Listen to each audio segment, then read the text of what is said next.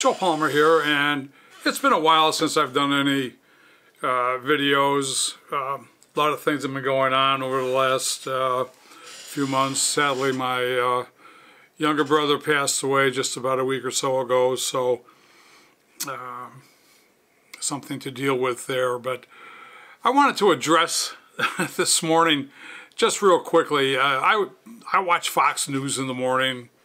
You know, I don't like the other networks, and uh, I usually get, you know, a little bit of interesting news, although I'm getting tired about, you know, listening about Trump and I'm getting tired about the border crisis. I mean, you know, you know, get off beating that drum. But one thing that I, I've got to say, in my opinion, Fox News has always said that they're fair and balanced.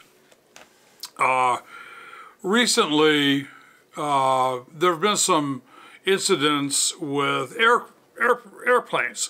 Uh, there, there was one case where uh, a tire fell off on takeoff. Well, uh, just as an aside, that plane's got 14 tires, so uh, landed safely.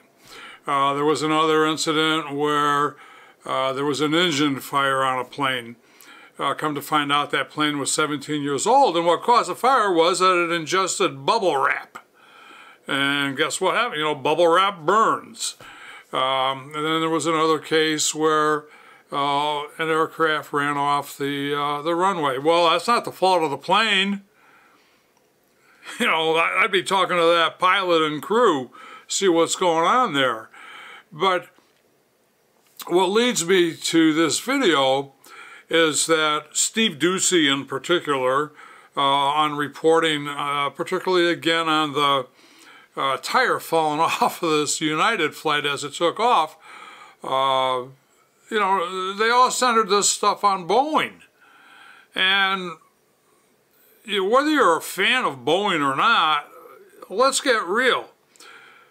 How many flights was that plane where the tire fell off in operation?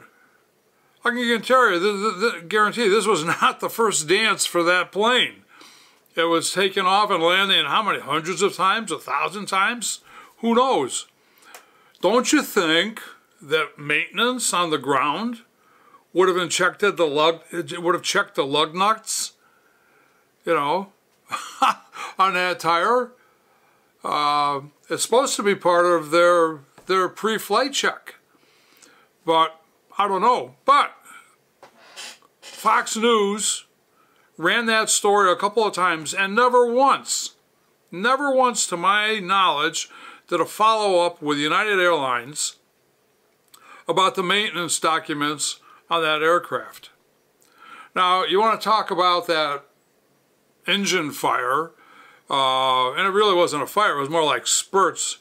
Um, it was burning something. I don't know where it ingested the bubble wrap. It Might have been on the ground, but when I was in the Air Force many, many moon ago, uh, we had what they called FOD, foreign, Ordinance, foreign object damage or foreign object debris.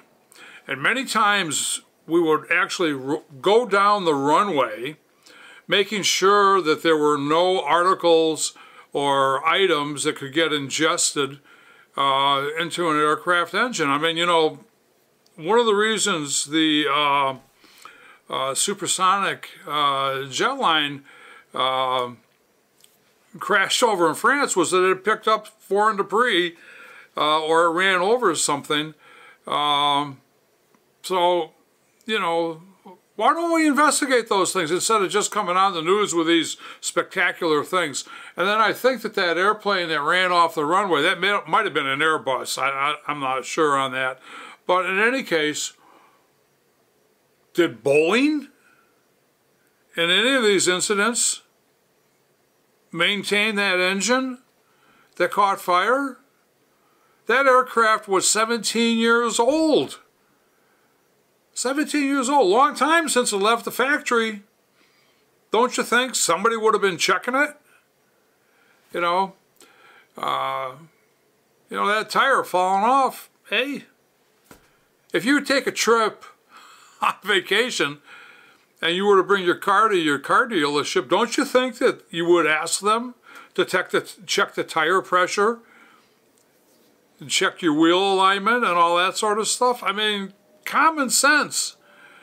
So get off your kick, Fox. If you're going to report a story, then do a follow-up on it. And that's all I got to say about that. So anyway, I hope everyone is doing well. You're staying healthy. And may God bless.